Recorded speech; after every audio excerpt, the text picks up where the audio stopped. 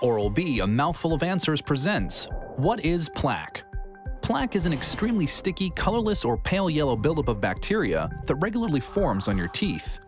When your saliva, food, and fluids combine, they produce this buildup, which collects where the teeth and gums meet. Plaque contains acids that attack your tooth enamel and can damage the gums. If not treated, the damage could become permanent.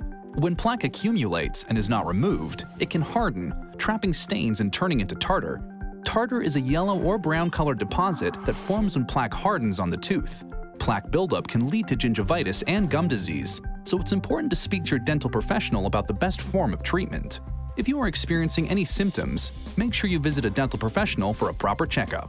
When it comes to plaque and tartar, a clean mouth starts with good brushing habits. A healthier mouth starts with Oral-B. Oral-B is the number one dentist recommended toothbrush brand worldwide.